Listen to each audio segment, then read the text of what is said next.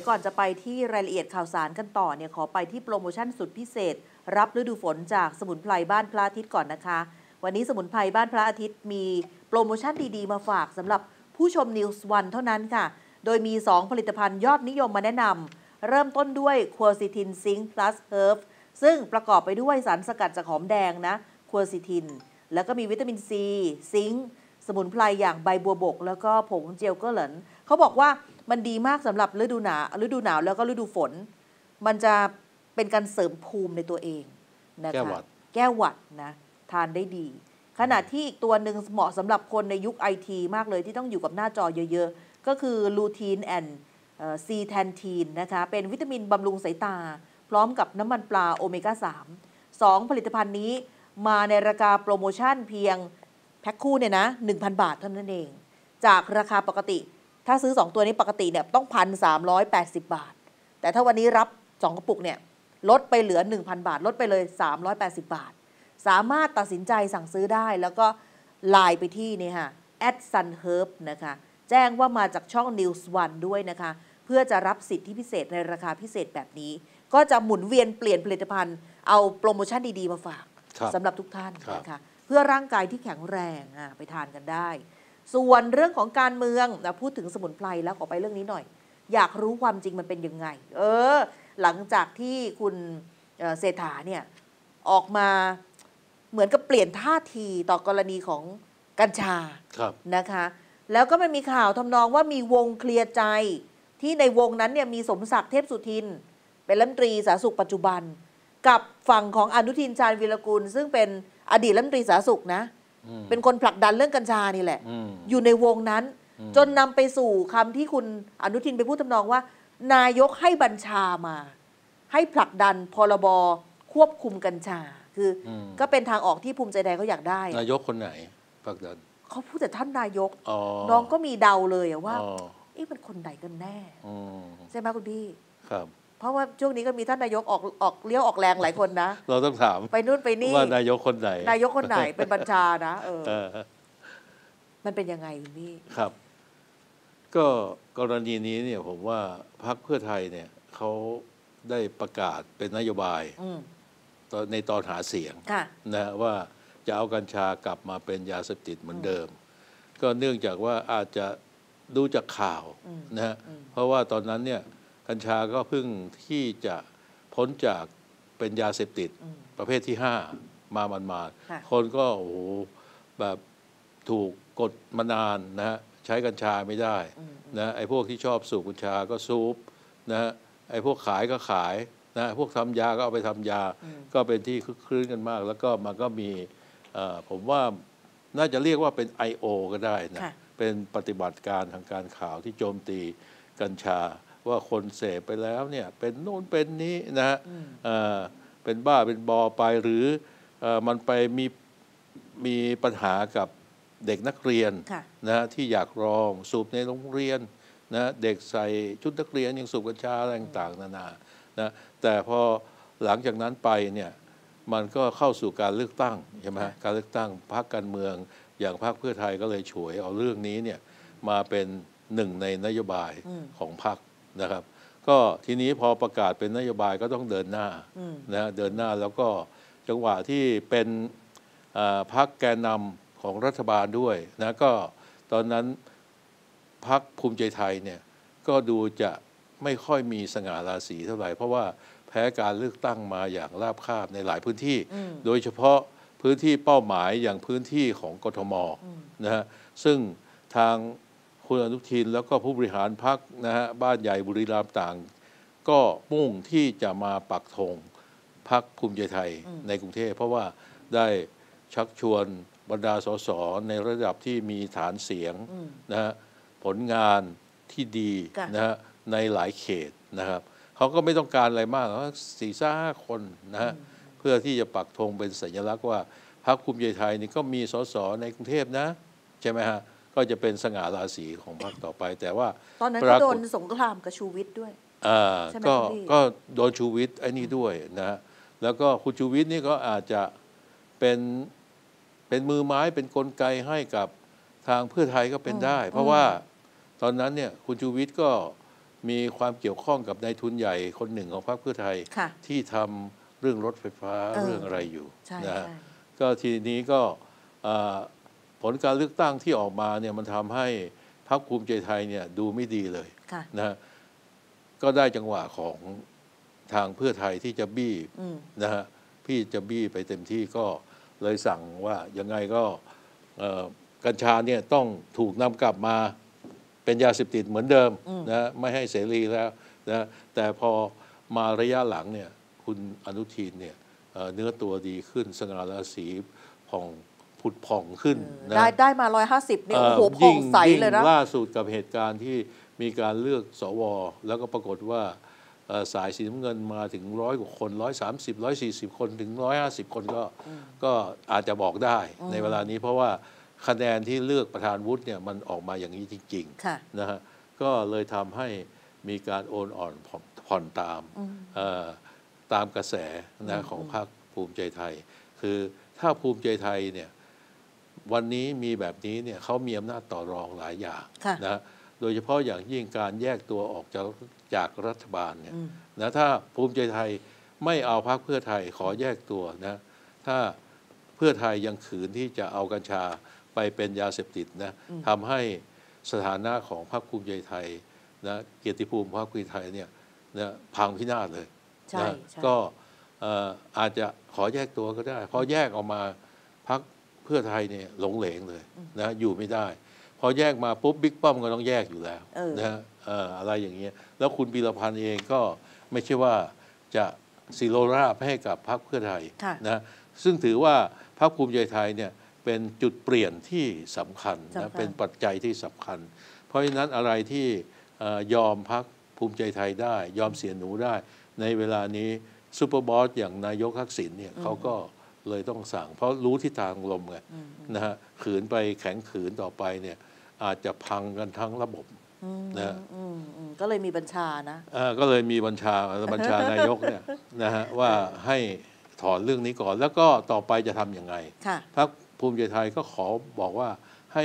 ประธานสภาเนี่ยเรียกเอาเอ่อพรบวิปประธานวิปเนี่ยนะของรัฐบาลเนี่ยเรียกเอาพรบที่ร่างกฎหมายนะกัญชากัญชงนะ ที่เคยเสนอไว้แล้วถูกพรรคประชาธิปัตย์โค่นเนี่ยนะเอามาพิจารณาใหม่อีกครั้ง แล้วรวมทั้งพรรคไหนนะค่ะที่จะต้องการควบคุมกัญชาตามความคิดตามเอ่อสิ่งที่พรรคนั้นเนี่ยนะต้องการก็เสนอร่างเข้ามาประกบกันนะครับ เพื่อที่จะได้มีกฎหมายมีกติกาที่จะควบคุมการใช้กัญชาอย่าต่อไปค่ะเอ่อแต่กัญชา จะต้องเป็นเสรีนะไม่ใช่เป็นยาเสพติดอีกต่อไปอืมอืมนะก็เดี๋ยวรอดูนะคะ อันนี้ก็เป็นจุดเปลี่ยนสำคัญที่เชื่อว่ามาจากเรื่องของดีลที่มันเปลี่ยนตอนนี้ครับนะคะ คุณบี ทีนี้อีกเรื่องหนึ่งที่วันนี้เป็นวันที่เขานัดก็คือวันแถลงเรื่องของการให้รายละเอียดดิจิตอลวอลเล็ตนะ เดิมทีเดียวมีข่าวทำนองว่าต้องเป็นนายกนำแถลง แต่คุณภูมิภูมิธรรมเนี่ยบอกว่านายกไม่ได้แถลงเพราะว่าติดภารกิจนะ ก็ส่งทางด้านของกระทรวงคลัง คุณพิชัยจุนหาวชิระนะแล้วก็มีทางด้านของสองรัฐมนตรีช่วย ทั้งคุณหนิมแล้วก็ทางด้านคุณเผ่าภูมิเนี่ยนะคะครับมีบางช่วงที่น่าสนใจเดี๋ยวเราจะให้ไปฟังกันนะเช่นตัวของคุณพิชัยที่พูดถึงอะไรนะ พายุหมุนทางเศรษฐกิจไม่ได้มาลูกเดียวนะ มาสี่มาทั้งลูกด้วยอืมเออขนาดนั้นเลยนะ ไปฟังช่วงพายุหมุนทางเศรษฐกิจสี่ลูก ที่เชื่อว่าจะกระจายรายได้อย่างทั่วถึงนะคะ ไปฟังค่ะ ดังนั้นผมถึงบอกว่านะครับสิ่งนี้ลองดูสิครับคนที่หนึ่งนะครับ เป็นนายกนายขอนะครับ ท่านใช้เงินในเขตอำเภอเนี่ย แล้วเราก็ขอว่าให้ใช้เงินกับ ร้านค้าขนาดเล็กด้วย อันนี้มันสามารถกำหนดเป็นเงื่อนไขได้นะครับ ในระบบของดิจิทัลวอลเล็ตนี้ เมื่อเป็นร้านเล็กก็แปลว่าเราสามารถที่จะร้านเล็กเนี่ยมีส่วนนะครับ จุดต้นเติมเนี่ยอยู่ในจำนวนเงินที่เราวางไว้นะครับสี่แสนกว่าล้านจะเข้ามาตรงนี้ก่อน นะครับ แล้วท่านในกติกานะถึงจะทำให้จากขนาดเล็กเนี่ยลูกที่สองเนี่ยท่านขนาดเล็กไปขนาดเล็กก็ได้ไม่มีใครว่านะครับ แล้วจากขนาดเล็กก็ไปขนาดใหญ่ได้ หรือขนาดกลางได้ ท่านจะดูสิครับขนาดเล็กซึ่งกำเงินคนละหมื่นเนี่ยนะครับ หลาย ๆ คนเนี่ยไปขนาดใหญ่เนี่ยครับ มันไม่ใช่หมื่นแล้วครับ หรือขนาดเล็กก็ร้านค้า เมื่อคู่เป็นในกอในขอนี่เป็นร้านกอร้านขอร้านงอ เงินไม่ใช่หนึ่งหมื่นครับพระอาจจะกำเงินห้าหมื่นก็ได้ จากสินค้าที่ขายได้ อาจจะกำเงินเจ็ดหมื่นก็ได้ ก้อนมันใหญ่ขึ้นนะครับ ก้อนมันใหญ่ขึ้นไปสู่ร้านค้าที่ใหญ่ ท่านจะมีคำถามว่าอย่างนั้นร้านค้าใหญ่ก็จะได้เปรียบเหตุผลสองข้อครับ อันนี้เป็น demand และ supply chain ของประเทศ ทุก ๆ ประเทศเป็นอย่างนี้หมดครับ จากประชาชนไปสู่ร้านค้าเล็กไปสู่ขนาดกลางขนาดใหญ่ ขนาดใหญ่นะสู่การจ้างแรงงานเป็นโรงงาน แล้วก็มีการจ้างแรงงานขนาดกลางและขนาดเล็กบนเป็น loop ลงมามีการจ้างแรงงาน ขาดซึ่งผู้ใดผู้หนึ่งไม่ได้นะครับก็จะไม่เกิดความต่อเนื่องหรือผมอาจจะบอกได้ว่า อันนี้เขาอธิบายอย่างนี้นะ บอกว่าพายุหมุนลูกที่หนึ่งคือการใช้จ่ายระหว่างประชาชนกับร้านค้าขนาดเล็ก เป็นการกระตุ้นเศรษฐกิจฐานรากนะสองคือพายุหมุนลูกที่สองใช้จ่ายระหว่างร้านค้าเล็กกับร้านค้าใหญ่ แล้วก็พายุหมุนลูกที่สามคือใหญ่กับใหญ่ใช้ด้วยกันเอออืมซื้อกันไปซื้อกันมาอืมแล้วก็ลูกที่สี่คือเกิดเป็นพลังการจับจ่ายที่จะไปสร้างกิจกรรมหมุนเวียนทางเศรษฐกิจพูดง่ายคือตัวเนี้ยจะไปเพิ่มกระตุ้นเศรษฐกิจ GDP อืมนะคุณพี่นี่พายุหมุนทางเศรษฐกิจนะแต่ก็มีคนแซว บางคนก็แซวบอกว่าพายุหมุนจะไม่กลายเป็นหย่อมความกดอากาศต่ำใช่ไหมอ่อนตัวลงอะไรอย่างนี้นะเออเออเออมันจะได้ผลใช่ไหมพูดง่ายเออเออนะ มันก็ไม่มีใครรู้อะเพราะไม่มีเพิ่งทำเป็นครั้งแรก ใช่ครับนะคะ ก็เป็นการเติมเงินเข้ามาในระบบในระบบนะอืมที่คนอื่นจะเอาไปไม่ได้ นอกจากว่าวนกลับมาวนกลับมาที่คนจ่ายอืมนะแต่จะวนกลับเท่าไหร่เนี่ย นะฮะก็ในในรูปแบบของภาษีอืมใช่ไหมฮะอืมในรูปแบบของภาษี ส่วนที่มันขาดก็คือเอางบประมาณอืมไปเติมฮะนะที่เขาตอนนี้ก็ไม่เอาทกสแล้วอืมเอาจากงบประมาณปีหกเจ็ด67 กับปี 68 ทีนี้คนก็ตั้งข้อสังเกตว่ามันมันใช้เหลื่อมเหลื่อมปีงบประมาณได้ไหม ก็น่าจะได้นะฮะน่าจะเออได้ เพราะว่าการขึ้นเงินเนี่ย มันก็ไปอยู่ที่ที่เอ่อคนสุดท้ายอืมที่รับไปอืม นะเขาก็อยากจะให้หมุนหลาย ๆ รอบค่ะนะเจ็ดแปดรอบเป็นอย่างน้อยอย่างเงี้ยอืมนะครับอืมก็ถึงได้บังคับให้ซื้อแล้วก็เอ่อต้องเป็น ต้องเป็นในร้านค้าที่สองมั้งฮะที่จะเบิกเป็นเงินสดออกมาได้อ๋อนะนี่ก็จะเปิดให้ร่วมลงทะเบียนเนี่ยนะคะหครับนึ่งสิงหาคมเอ่อหนึ่งสิงหาคมถึงอืม15 กันยายน แล้วก็ใช้จ่ายได้ภายใน ไตรมาสสี่นะคะอืมมีรายละเอียดที่น่าสนใจเพิ่มเติมคือส่วนของเออคุณสมบัติ นอกจากที่เรารู้ๆกันเนี่ยมันมีอีกส่วนหนึ่งนะ คุณพี่เขาระบุเลยนะ 1.6 ไม่เป็นผู้ที่อยู่ระหว่างการต้องโทษจำคุกในเรือนจำครับ นักโทษใช้ไม่ได้ ใช้ไม่ได้ อันนี้ก็จะตัดออกไปส่วนเยอะเลยหลายแสนเยอะเลยก็ประมาณ 3 0 0แสนกว่าคนสามแสนหนึ่งจุดเจ็ดไม่เป็นผู้ถูกระงับสิทธิ์หรือถูกเรียกคืนในมาตรการหรือโครงการอื่น ๆ ของรัฐ พูดง่ายแบ็กลิสอะอืมพวกที่เคยเป็นเออไปไปรับเงินลุงตู่ตอนนั้นเอ่ออะไรนะตอนนี้ก็คงไอ้กลุ่มนี้คงไม่เยอะ เออไม่เยอะ คงคงไม่เยอะ ก็คงเป็นแบ็กลิสของโครงการต่างๆของครับรัฐ 1.8 ไม่เป็นผู้ฝ่าฝืนเงื่อนไขของมาตรการ หรือโครงการอื่นๆของรัฐ คือทำผิดเงื่อนไขเอาไว้เนี่ยก็จะมีรายชื่ออมมีแบ็กลิสก็อาจจะไม่ได้รับในส่วนนี้ไปนะคะ ส่วนทางด้านของรายละเอียดอื่นพระพระก็ไม่ได้ๆพระไม่พูด อืมพระก็ไม่ได้ ไม่ได้เหรอพี่ ไม่น่าจะได้นะพระก็มีของอยากได้เหมือนกันนะพี่นะอืมฮะต้องต้องประเคนต้องต้องโอ้ ลำบากลำบากหลวงพี่มันจะผิดผิดเอในอเอ่อผิดกฎผิดใช่ไหมทางสงฆ์เออผิดทางสงฆ์ ผิดผิดกฎทางพุทธทางสงฆ์ คือหลวงหลวงพี่เขาเขาต้องซื้อแบบ face to face ด้วยนะ ซื้อออนไลน์ไม่ได้นะ ถ้าออนไลน์พระซื้อได้เงี้ยแบบไม่มีใครรู้นะ ฮะ แต่ถ้าซื้อ เออได้หรือไม่ได้นะอ๋อนี่ต้องสรุปแล้ว ฮะ ลดมาหนึ่งแสนล้าน อ่าใช่ใช่เพราะว่าเหลือแค่สี่สี่แสนร้อยเออสี่แสนสี่แสนห้าห้าหมื่นล้านใช่อืมใช่นะคะทีนี้เขาบอกว่ารายละเอียดอื่น ๆ เช่น นี่น้องไปนั่งนั่งดูประชาชนสามารถใช้จ่ายกับร้านค้าขนาดเล็กรวมถึงร้านสะดวกซื้อขนาดเล็ก แต่ไม่รวมถึงห้างสรรพสินค้า ครับ แปลว่าเครือเซ็นทรัลไม่ได้นะ ไม่ได้ เดอะมอลล์อย่างเงี้ยนะไม่ได้ไม่ได้นะ ห้างค้าปลีกค้าส่งขนาดใหญ่ ไม่ได้ใช่หไม่ได้ค่ะ อืม Big- อย่าง Big อย่างไทย C วัสดุอะไรพวกนี้ไม่แมคได้โครไม่ได้ไม่ได้ แต่ถ้าเกิดย่อยออกไปเป็นเอ็กซ์เพรสอะอาจจะได้นะเอ่อได้ไหมน่าจะได้นะน่าจะได้ เออเออเออเออร้านสะดวกซื้อได้นี่สะดวกซื้อเซเว่นอะได้เออแต่ว่าถ้าเป็นใหญ่ ๆ แมคโครโลตัสอะไรอย่างเงี้ยไม่ได้เออนะคะ แล้วก็ยกเว้นว่า อันเนี้ยเราไม่รู้ว่าถ้าเขาแยกเป็นโลตัสเอ็กซ์เพรสเนี้ยได้ไหม น่าจะได้ น่าจะได้เอออย่างนี้นะเอ่อ ในการซื้อสินค้าหากประชาชนมีทะเบียนบ้านในอำเภอใดต้องซื้อที่นั่น และต้องเป็นการซื้อแบบพบหน้ากันเออไม่เจอหน้าไม่ได้นะ คือห้ามซื้อออนไลน์เพื่อง่ายอืมต้อง face to face ก็คือไปซื้อที่ร้านแล้วก็สแกนเลย แล้วหยิบของมาจริง ใช่ แต่ไม่ไม่ไม่มีอนุญาตให้ซื้อผ่านออนไลน์เออนะคะเพราะว่าจะได้ตรวจสอบที่อยู่ของร้านต่างๆอะไรได้เอ่อเขาพยายามยืนยันว่าครั้งอ๋อเนี้ยก็เพราะว่าซื้อขายออนไลน์เนี่ยมันเก็บภาษีไม่ได้ เก็บภาษีไม่ได้ เก็บภาษีมันไได้มีโอกาสรั่วเขาไหลต้องการที่จะเก็บภาษีคืนจากการใช้จ่ายอืมนะอืมเพื่อที่จะเอามาอุดหนุนต่อไปค่ะเอาคือให้ให้เงินมันหมุนเข้ามาเป็นภาษีอืมจากโครงการนี้อืมนะก็มันก็จะมาเป็นตัวบวกนะอืมก็